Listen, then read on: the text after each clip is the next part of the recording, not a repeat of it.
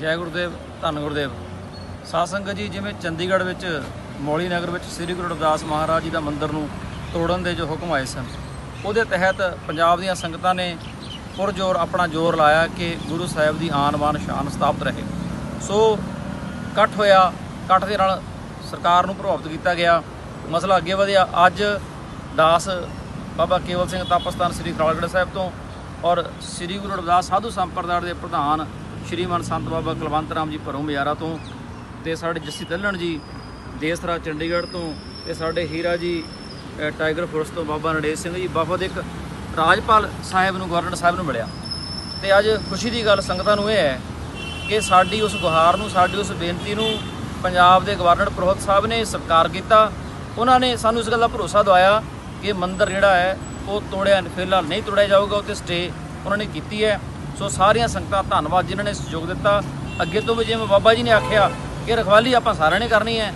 ਸੋ ਅੱਜ ਮੈਂ ਇੱਥੇ ਵਿਸ਼ੇਸ਼ ਤੌਰ ਤੇ ਚੰਡੀਗੜ੍ਹ ਵਿਖੇ ਗਵਰਨਰ ਸਾਹਿਬ ਦਾ ਅਤੀ ਧੰਨਵਾਦ ਕਰਦਾ ਜਿਨ੍ਹਾਂ ਨੇ ਸਾਡੀ ਬੇਨਤੀ ਨੂੰ ਸਵੀਕਾਰ ਕੀਤਾ। ਜੈ ਗੁਰਦੇਵ, ਧੰਨ ਗੁਰਦੇਵ। ਮਹਾਰਾਜ ਕੀ ਜੈ। ਜੈ ਗੁਰਦੇਵ, ਧੰਨ ਗੁਰਦੇਵ।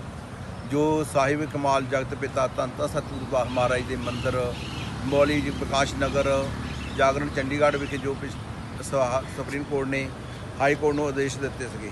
ਔਰ ਉਹਨਾਂ ਹੁਕਮਾਂ ਅਨੁਸਾਰ ਮਿਊਨਿਸਪਲ ਕਾਰਪੋਰੇਸ਼ਨ ਨੇ ਚੰਡੀਗੜ੍ਹ ਦੇ ਵਿੱਚ 106 ਮੰਦਰਾਂ ਨੂੰ ਢਾਉਣ ਦੇ ਆਰਡਰ ਦਿੱਤੇ ਗਏ ਜਿਸ ਦੇ ਗੁਰੂ ਰਵਿਦਾਸ ਮਹਾਰਾਜ ਦਾ ਮੰਦਿਰ, ਭਗਵਾਨ ਵਾਲਮੀਕੀ ਗੁਰੂ ਮਾਸਟਰ ਦਾ ਮੰਦਿਰ ਵੀ ਸੀ ਔਰ ਸੰਗਤਾਂ ਦੇ ਪੂਰੇ ਭਾਰਤ ਵਰਸ਼ ਤੋਂ ਇੱਕ ਬਹੁਤ ਵੱਡਾ ਅੰਦੋਲਨ ਕੀਤਾ ਆ। ਅੰਦੋਲਨ ਦੇ ਵਿੱਚ ਜੋ ਪ੍ਰਸ਼ਾਸਨ ਨੂੰ ਉਸ ਵੇਲੇ ਝੁਕਣਾ ਪਿਆ। ਔਰ ਪ੍ਰਸ਼ਾਸਨ ਨੇ ਸੰਗਤਾਂ ਦੀਆਂ ਭਾਵਨਾ ਨੂੰ ਦੇਖਦੇ ਹੋਏ ਅੱਜ ਗਵਰਨਰ ਹਾਊਸ ਵਿਖੇ ਸ- ਸੰਗਤਾਂ ਨੂੰ ਸਾਡੇ ਜੀ, ਜੱਸੀ ਤਲ ਦੀ ਪ੍ਰਧਾਨ ਦੇਸਰਾਜ ਜੀ ਸਾਡੇ ਬਾਬਾ ਕੇਵਲ ਸਿੰਘ ਜੀ ਖਰਾਲਗੜ੍ਹ ਸਾਹਿਬ ਤੋਂ ਨਰੇਸ਼ ਜੀ ਬਾਬਾ ਨਰੇਸ਼ ਜੀ ਖਰਾਲਗੜ੍ਹ ਤੋਂ ਸਾਡੇ ਹੀਰਾ ਜੱਕੂ ਜੀ ਦਾ ਗ੍ਰੇਟ ਚਮਾਰ ਤੋਂ ਇਹ ਵੀ ਪਹੁੰਚੇ ਆ। ਔਰ ਗਵਰਨਰ ਸਾਹਿਬ ਨੇ ਇਹ ਉਹਨਾਂ ਨੇ ਇਹ ਆਦੇਸ਼ ਦਿੱਤਾ ਕਿ ਮੈਂ ਡੀਸੀ ਨੂੰ ਡੀ ਸਾਹਿਬ ਨੂੰ ਮੈਂ ਕਹਿ ਦਿੰਦਾ ਕਿ ਉਹ ਮੰਦਰ ਦੇ ਉੱਤੇ ਰੋਕ ਲਗਾਈ ਜਾਵੇ ਜੋ ਸਟੇਜ ਆ ਉਹ ਮਿਲ ਗਿਆ।